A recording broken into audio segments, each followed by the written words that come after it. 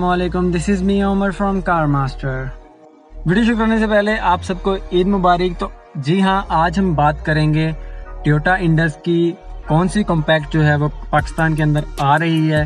उसके बारे में एक बहुत ही शानदार स्पोर्टी लुक हाइब्रिड गाड़ी जो कि टोयोटा की तरफ़ से पाकिस्तान के अंदर आ रही है।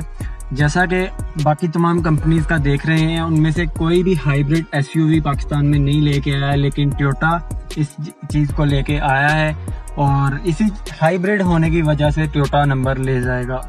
और इसी तरह से इस गाड़ी का नाम है रैव फोर और किया स्पोर्टिज के आने की वजह से टोयोटा फॉर्च्यूनर की जो सेल्स थी, वो बहुत ज़्यादा कम हो गई थी। उसने काफ़ी ज़्यादा कस्टमर टोयोटा के अपनी तरफ़ कर लिए थे, क्योंकि एक न्यू कंपनी पाकिस्तान के अंदर आई थी। उनकी, वो ज़्यादा फीचर्स दे रहे थे उसी प्राइस के अंदर। तो बहुत सारी आवाम ने फॉर्च्यूनर को छोड़ के किया कि स्पोर्टिज को लेना शुरू कर दिया, जिसकी वजह से अब टोयोटा ने ये फैसला किया है कि वो भी अपनी एक एस लॉन्च करेंगे पाकिस्तान के अंदर, जो कि रैव फोर हो सकती है। इसी तरह से टोयोटा जो है वो इस चीज़ पे नज़र रखे हुए है कि तमाम कंपनियाँ अपनी अपनी एस पाकिस्तान के अंदर लेके आ रही हैं। हंडाई अपनी टूसो लेके आ रहा है और इसी तरह से प्रोटोन अपनी एक्स सेवेंटी लेके आ रही है और इसी तरह से किया अपनी स्पोर्टिज लेके आई है सुजुकी अपनी विटारा लेके आई है। तो इसी तरह से टोयोटा ने भी यही सोचा है कि पाकिस्तान के अंदर भी एक एसयूवी उनके मुकाबले की होनी चाहिए जो कि उनको टक्कर दे। और इस साल के अंदर तमाम कंपनियाँ अपनी सडान कार को छोड़ के एस के पीछे लगी हुई हैं कि हम अपनी बेहतर एस लॉन्च करेंगे, हम अपनी सेवन सीटर कार लॉन्च करेंगे, हम हाइब्रिड लॉन्च करेंगे। तो तमाम कंपनियाँ इसी दौड़ के अंदर लगी हुई हैं। दिलचस्प बात यह है कि रैव फोर का 2.4 की जगह 1.8 लीटर इंजन मतारफ पाकिस्तान में करवाया जाएगा और इसी तरह से इस गाड़ी का हाइब्रिड वेरिएंट भी पाकिस्तान में लॉन्च किया जाएगा, जो कि फोर लीटर इंजन के हामिल गाड़ी के बराबर ताकत पैदा करेगा उसका इंजन।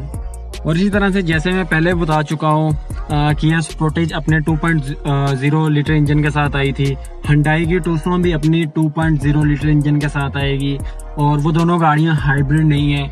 इसी चीज़ को लेके जो टोयोटा है, वो अपने नंबर ले जाएगी, क्योंकि वो अपनी हाइब्रिड गाड़ी उसी प्राइस टैग में लॉन्च करवाएगी, जिस प्राइस टैग में दूसरी गाड़ियाँ आ रही हैं।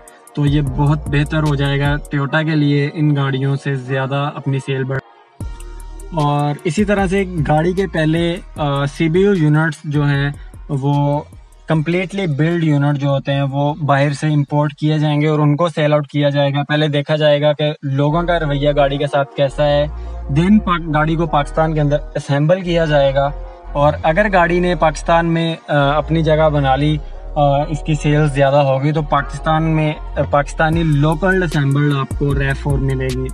और इसी तरह से दोबारा के अलहाज ग्रुप भी अपनी प्रोटोन एक्स सेवेंटी लेके आ रहा है, जो कि काफ़ी ज़्यादा लो प्राइस में होगी around three two three point five million के दरमियान।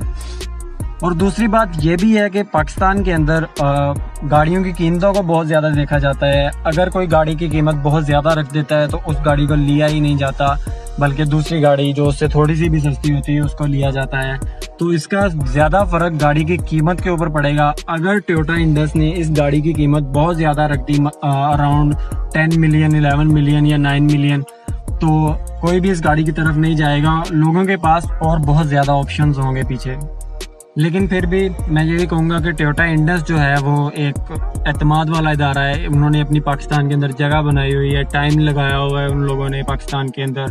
तो लोगों का उनके ऊपर ट्रस्ट बना हुआ है। इस वजह से लोग इस चीज़ को लेंगे। और ये थी यार आज की न्यूज़ और मैंने सोचा कि आपके साथ शेयर कर दूँ। और और इसी के साथ साथ ये भी न्यूज़ है कि टोयोटा अपनी हैरियर को भी लॉन्च कर सकता है रैफ फोर की जगह। तो दोनों गाड़ियों में से कोई भी लॉन्च हो सकती है। अब इन दोनों गाड़ियों का टोटा हैरियर का और रैव फोर का जो है प्राइस का थोड़ा सा वो रैव फोर की थोड़ी सी प्राइस ज़्यादा है ड्यू टू इट्स लुक्स और इसके इंजन की वजह से, इसके हाइब्रिड होने की वजह से। और हैरियर की प्राइस जो है, वो अराउंड वन मिलियन कम होगी अगर हैरियर आएगी और टोटा रैव फोर आएगी तो उसकी थोड़ी सी प्राइस ज़्यादा होगी। तो आपके ख्याल में कौन सी गाड़ी पाकिस्तान के अंदर लॉन्च होनी चाहिए? मेरे ख्याल से कि रैब फोर होनी चाहिए और इसकी प्राइस क्या होनी चाहिए मुझे लाजमी नीचे कमेंट बॉक्स में बताइएगा। तो यार आज की वीडियो में बस इतना ही। आ, मैं हाजिर हूँ एक बेहतर अच्छी वीडियो के साथ। This is me Umar signing off state हाफिज़ पाकिस्तान जिंदाबाद और मुझे ज़रूर बताइएगा कि आप सबकी ईद कैसी जा रही है और आपने ईद को कैसे मनाया है। अपना ख्याल रखिएगा।